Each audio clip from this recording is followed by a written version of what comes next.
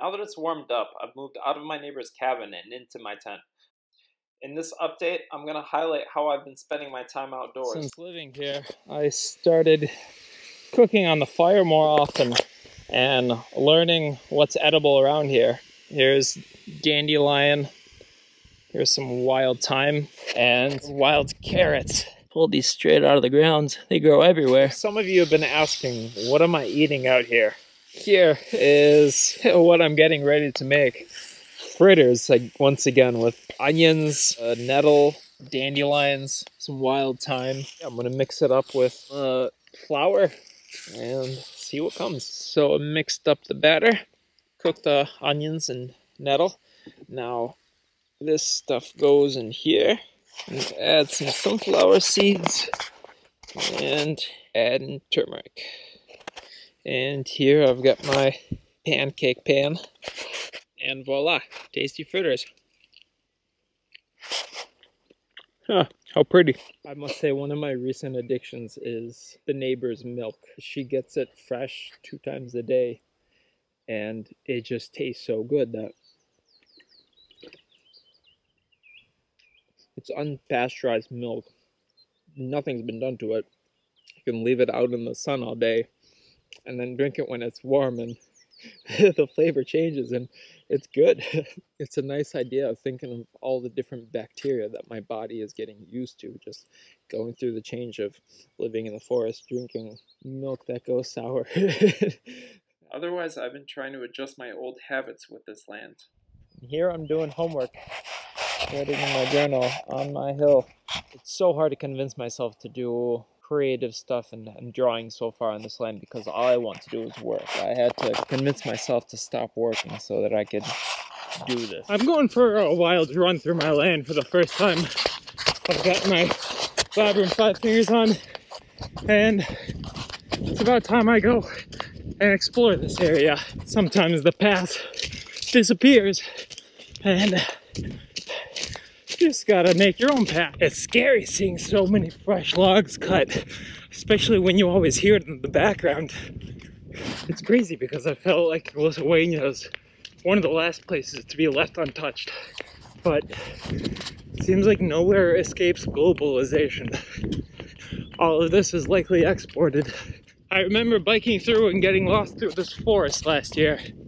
It's crazy how fast things change in Europe, cigarette packaging requires that you show a picture of the adverse health effects uh, that smoking can do to you. It lets you know what you're contributing to.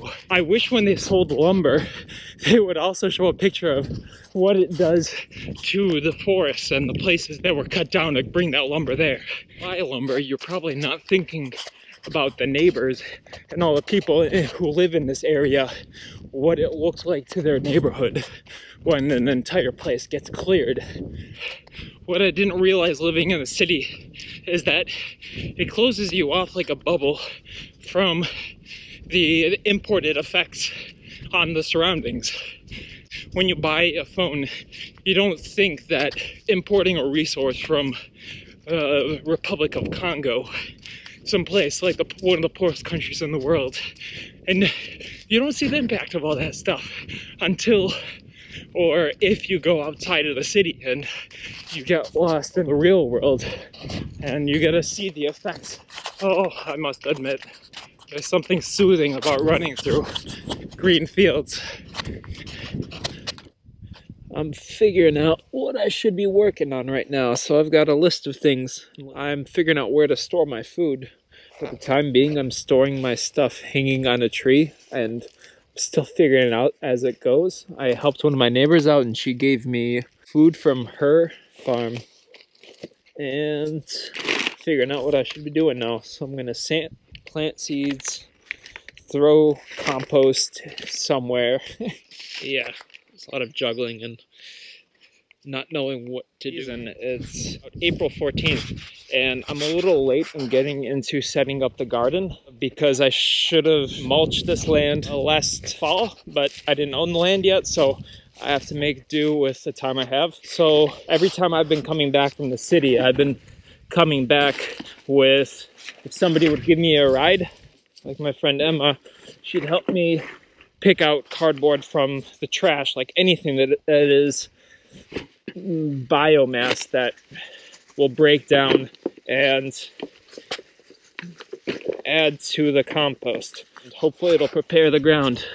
It's already starting to kill some of the grass. Well, I don't expect this whole little amount of compost and, and carbon to make much of a difference. Though I do enjoy knowing where my trash compost will go. And my hope is that it'll bring back some of the microbes and bacteria into this ground, which, as I drown it out from sunlight,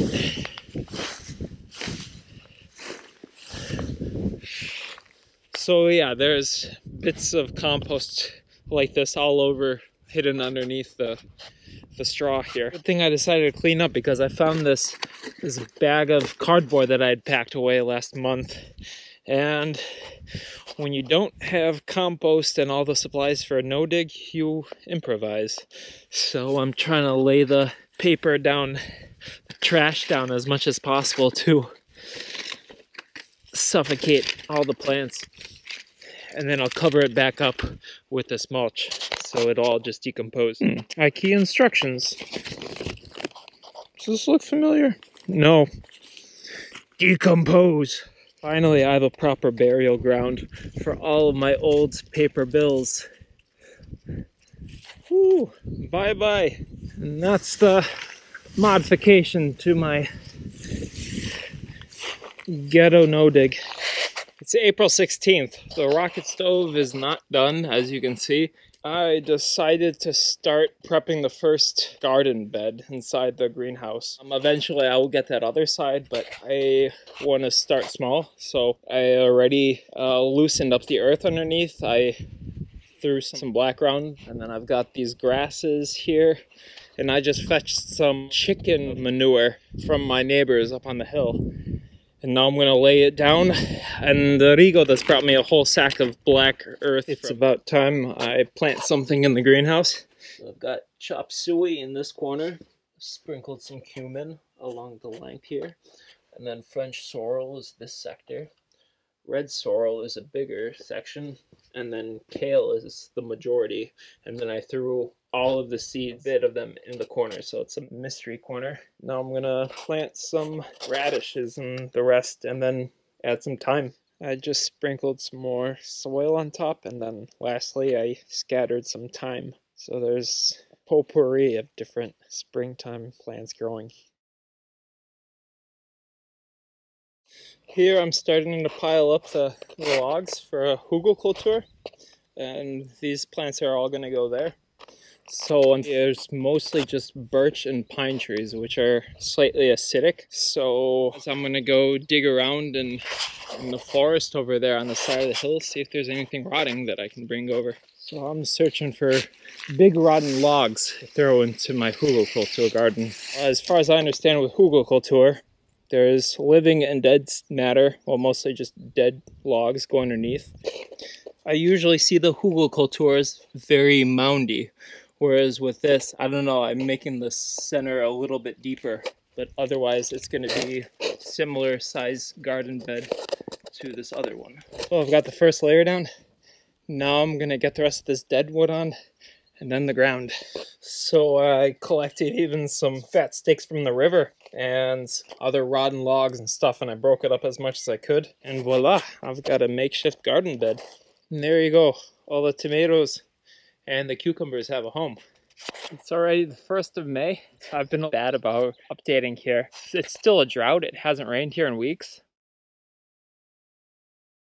It finally rained after an entire month uh, of a drought, and this place is already starting to transform in, in terms of greenery. All of the, the moss here came back to life, and same here. This was a, a dilapidated pile of redness. Everything is recovering.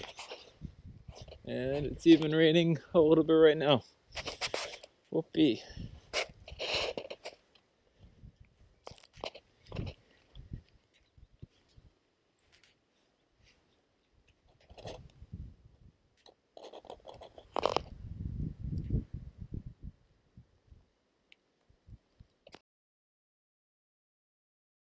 today. My father's coming, and otherwise, I'm cleaning up.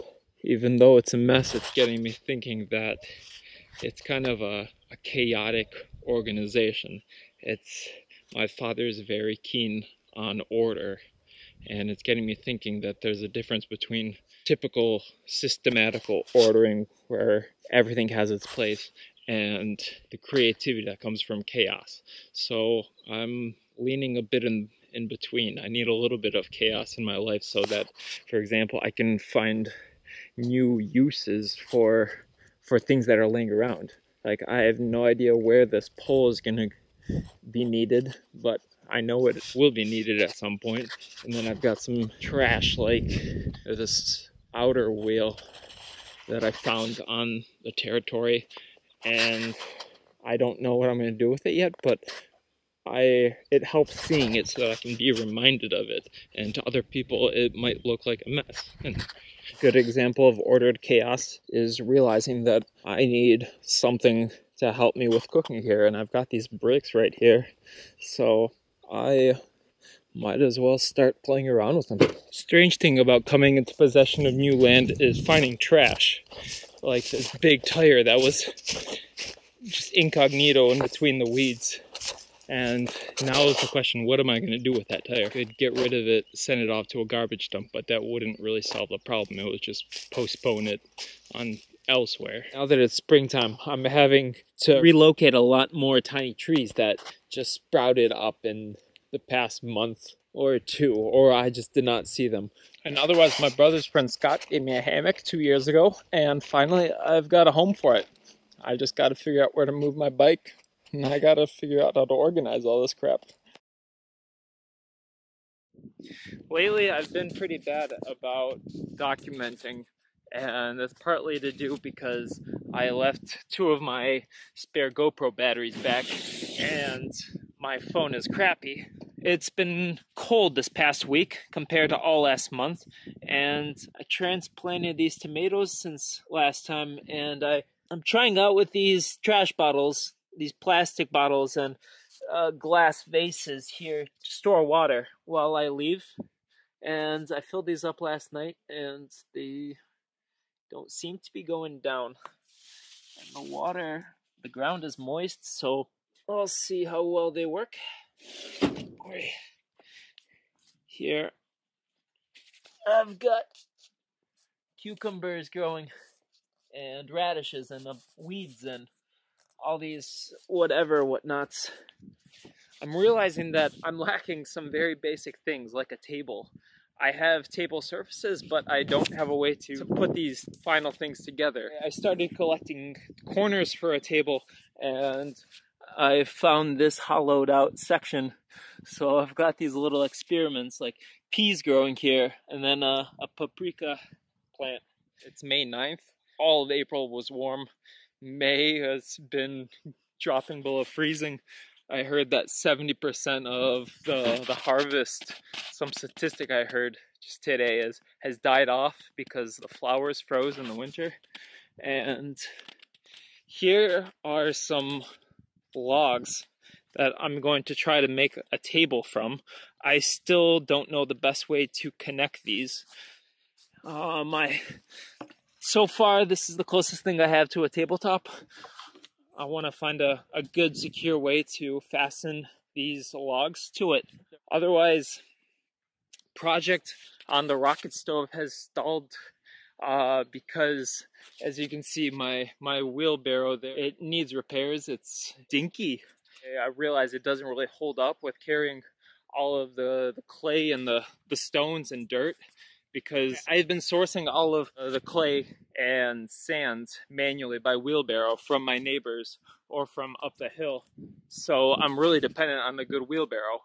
And my dad helped me buy a new wheelbarrow with two wheels, a sturdy one, but I got it and both wheels were defected. So the progress on the rocket stove has been very minimal. Um, Here's what it looks like from this side. I've got some, ooh, a weed growing. Oh, it's a lamb's quarter. And otherwise, I've been learning how to eat lots of the weeds. I've been eating well and trying to learn how to transplant apple trees and at the same time how to graft them. So I found a bunch of trees that look like they might be apple trees from under my apple tree. I'm hoping it's an apple tree. I tried grafting some of them too. So these are struggling, but here I need to clean up. This was my first graft ever and look how terrible of a job it is. It's got sand everywhere. I didn't take off the paper from one side. I still have yet to clip uh, the top of this and, and disinfect it. If these are in fact apple trees, which I think they are, then it might survive. But uh, I have many of these sort of experiments on the Castle Hill. You experiment in grafting on wild apple trees. And I know a lot of them are not going to survive, but it's a learning process.